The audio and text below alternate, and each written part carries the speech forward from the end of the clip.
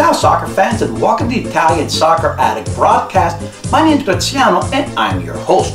Coppa Italia play on Wednesday and a big match between Roma and Fiorentina highlights the show this week.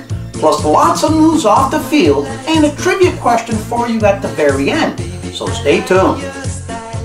Newsflash, newsflash. Soccer emerges from the dark ages. Yes, this Friday, Gianni Infantino, the new head of FIFA, announced that soccer will finally be getting some video technology and possibly some video review in the coming future. Also with some of the changes, they're looking at changing the offside rule, the handball rule, and the substitution rule.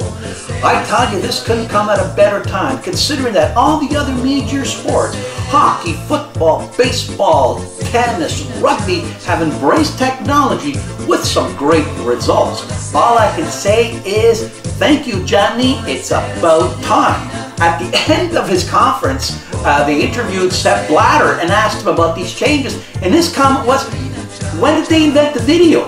On Wednesday, Coppa Italia started predictably with the Milan drubbing of second division Alessandria 5-1. Milan's only hope at a trophy this year saw them field a lot of starters.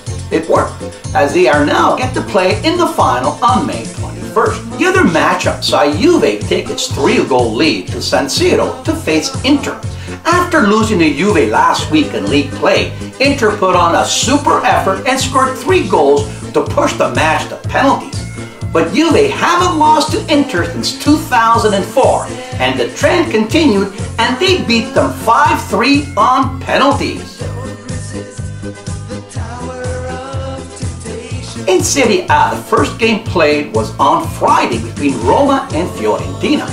At stake was sole possession of third place and a Champions League berth. At the Olimpico, Roma didn't disappoint. Spalletti's men continued their torrid pace and earned their seventh victory in a row. Yet another outburst of goals saw them beat Fiorentina 4-1. With these goals, Roma now leads Serie A with 59 goals. Once again, it was the Egyptian connection leading the way with Mohamed Salah getting a brace and Stephan El Shaarawy scoring one and setting up the other. In this version of history, it's the Pharaohs who are conquering Rome. On Saturday, Napoli kept pace and continued to hold down second place with a 3-1 victory over their Bestianera, Chievo. Gonzalo Higuain's goal lead the league with 26 goals. Then on Saturday, Juve showed again their class and power by going into Bergamo and beating Atalanta 2-0. They are now undefeated in 18 games and are three points clear of Napoli in the standings. One streak though that did come to an end is that of Milano's, who suffered their first defeat since the Befana, a 2-0 loss to Sassuolo. In the posticipo, or the late game, Inter hosted Palermo. Early, early, early goals by Ljajic and Icardi sealed the deal and Inter cruised to a 3-1 victory.